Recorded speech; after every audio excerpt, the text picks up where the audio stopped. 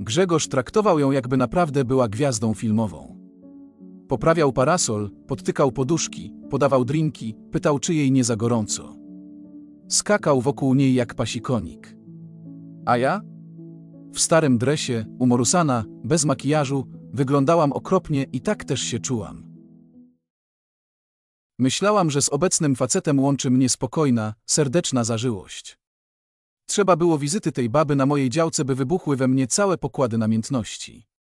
Mamo, jesteś naprawdę super, stwierdziła z przekonaniem moja nastoletnia córka. Świat naprawdę byłby lepszy, gdyby kobiety umiały się bić o swoje, tak trzymaj.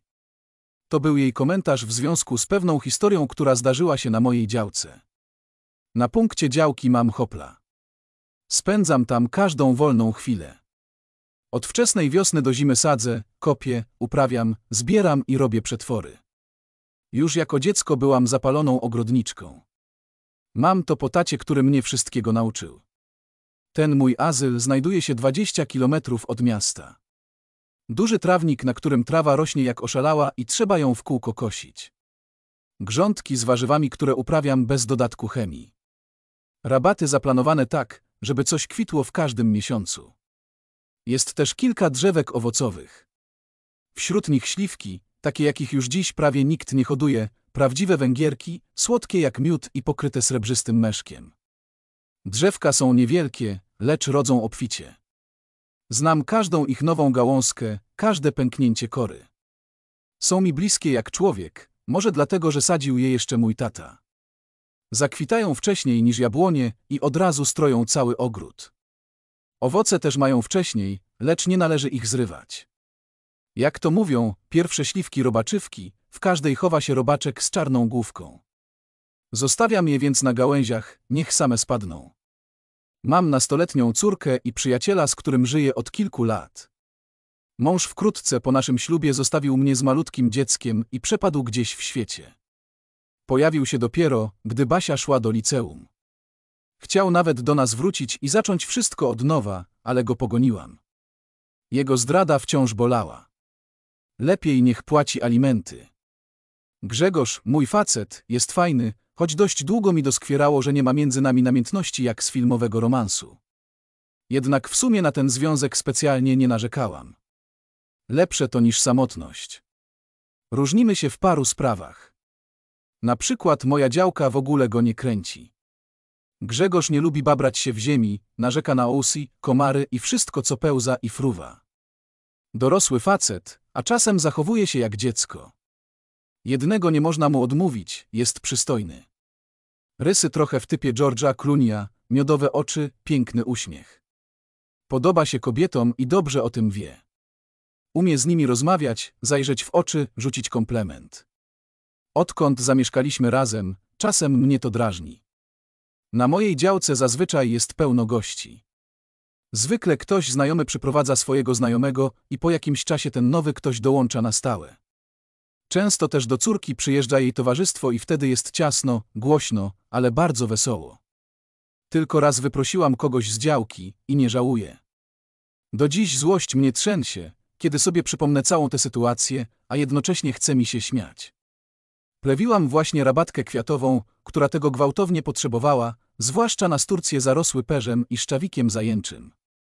Byłam nieumalowana, miałam na sobie powyciągane spodnie od dresu i starą bawełnianą bluzkę. Nie spodziewałam się gości tak wcześnie, bo dochodziła zaledwie dziewiąta rano, najlepiej się plewi, zanim nastanie skwar. Jednak moja kuzynka najwyraźniej uznała, że szkoda letniej soboty i postanowiła nas odwiedzić z samego rana. Niestety, nie przyjechała sama, przywiozła koleżankę. Natychmiast trafił mnie szlak. Przede mną stała wysoka, zgrabna blondynka zrobiona na Marilyn Monroe, w białej plisowanej sukience z gołymi plecami, w stylu tej słynnej z filmu Słomiany Wdowiec. Miałam wrażenie, że wręcz czeka, aż zawieje wiatr i odsłoni jej opalone nogi. Była umalowana jak Marilyn, śmiała się, szczebiotała i trzepotała rzęsami tak jak ona. Czułam się przy niej jak kopciuszek. Grzegorz natychmiast pognał do domku po fotele ogrodowe. Potem rozkładał je i mościł wygodnie na nich obie panie, a zwłaszcza tę jedną, jakby rzeczywiście była gwiazdą filmową. Poprawiał parasol, podtykał poduszki, podawał drinki, pytał czy jej nie za gorąco. Szczyt wszystkiego. Skakał wokół niej jak jakiś cholerny pasikonik. A ja? W tym starym upapranym dresie, cała umorusana, bez makijażu, wyglądałam okropnie i tak też się czułam. Grzegorz, moja kuzynka i ta blondyna siedzieli w miłym cieniu, popijali zimne napoje, gadali i opowiadali sobie dowcipy. Z dużymi oporami i dyżurnym uśmiechem na ustach dołączyłam do nich na chwilę, w końcu byłam tu gospodynią. Koło południa, wciąż z zaciśniętymi zębami, zajęłam się obiadem. Młode ziemniaki z koperkiem, kefir, sałata, mięso z rusztu i szarlotka z herbatą. Mało? Myślę, że nie. Jak na nieproszonego gościa ta Merelyn powinna w rękę mnie pocałować za taki poczęstunek i siedzieć cicho. Ale gdzie tam, zachciało się jej owoców. Niezbyt serdecznie wyjaśniłam, że na jabłka, gruszki i morele jeszcze za wcześnie, więc musi się obejść smakiem. Zebrałam talerze na tacę i poszłam do kuchenki, żeby pozmywać. Jednak zerkałam, co się dzieje w ogrodzie. Nawet odsunęłam firaneczkę, żeby mieć na wszystko oko. W pewnej chwili zobaczyłam, jak blondyna wstaje z fotela i maszeruje do mojej ukochanej śliwy węgierki, ciągnąc ze sobą Grzegorza. Najwyraźniej kusiły ją owoce, były rzeczywiście dorodne, ale dopiero nabierały koloru jasnego granatu. Te najbardziej apetyczne rosły wysoko, należało się wspiąć na drabinkę, żeby ich dosięgnąć. Tymczasem wredna baba coś zaszczebiotała tonem rozkapryszonej dziewczynki i zaczęła podskakiwać, symulując wdzięczne ruchy.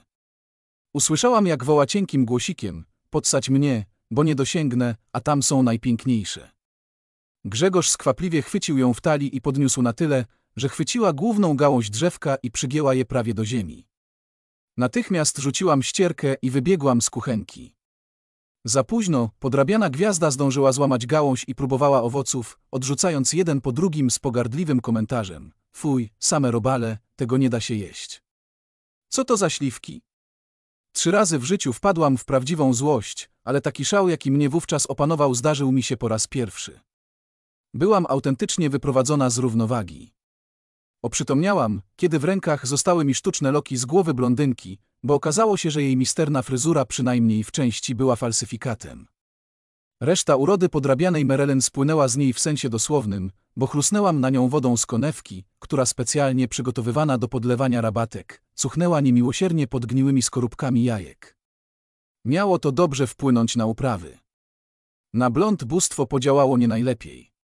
Kiedy fałszywa gwiazda uciekła z krzykiem, kuzynce kazałam zabierać jej torebkę, papierosy oraz żakiet i nigdy więcej nie przyprowadzać takich gości. Była wściekła, ale nazajutrz, gdy ochłonęła, przyznała mi rację. Dobrze zrobiłaś, powiedziała, bezwstydnie kleiła się do Grzegorza. Bezczelna baba. Co ty powiesz? Zakpiłam. Sama przywiozłaś te żmije na moją działkę, a teraz udajesz, że jesteś po mojej stronie? Jednak najbardziej zdziwił mnie Grzegorz. Gdy przypuściłam atak na te, już nie powiem kogo, stał z otwartymi ustami i wyglądał jakby go całkowicie sparaliżowało. Leć sobie za nią jeśli chcesz, krzyknęłam wtedy, nie będę po tobie płakała. Patrzył na mnie, jakby mnie widział po raz pierwszy w życiu. Wiem, że masz temperament i lepiej cię nie wkurzać, ale dziś przeszłaś samą siebie, powiedział tonem, w którym potępienie mieszało się z uznaniem.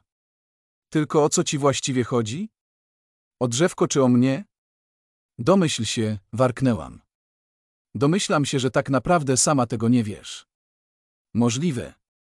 Za to wiem jedno, każdego wrednego szkodnika przegonię z mojego domu i z działki. Ciebie to też dotyczy. Pogodziliśmy się dopiero następnego dnia. Przyznał, że było mu miło, kiedy ta gwiazda go tak nachalnie podrywała i że ja jestem zazdrosna. Zachowałem się jak głupek. Nie pomyślałem, że jest ci przykro. Dopiero gdy się dorwała do tej śliwki, pomyślałem, że jest beznadziejna, ale było za późno. Opatrzyliśmy naszą biedną Węgierkę. Płakała żywicznymi łzami przez parę dni, ale w końcu rana się zasklepiła. Ja natomiast pilnuję się, żeby nie wyglądać, nawet w ogrodzie jak strach na wróble. Dbam o siebie, żeby przy żadnej lasce nie poczuć się jak ostatni kopciuch. Grzegorz jest czuły i słodki jak miód. Mówi o mnie kocica. Jesteś aksamitna, miękka i przymilna, ale skoczysz z pazurami, jeśli ktoś ci zagrozi, podkreśla nie bez podziwu. To prawda i lepiej będzie dla niego, żeby o tym pamiętał.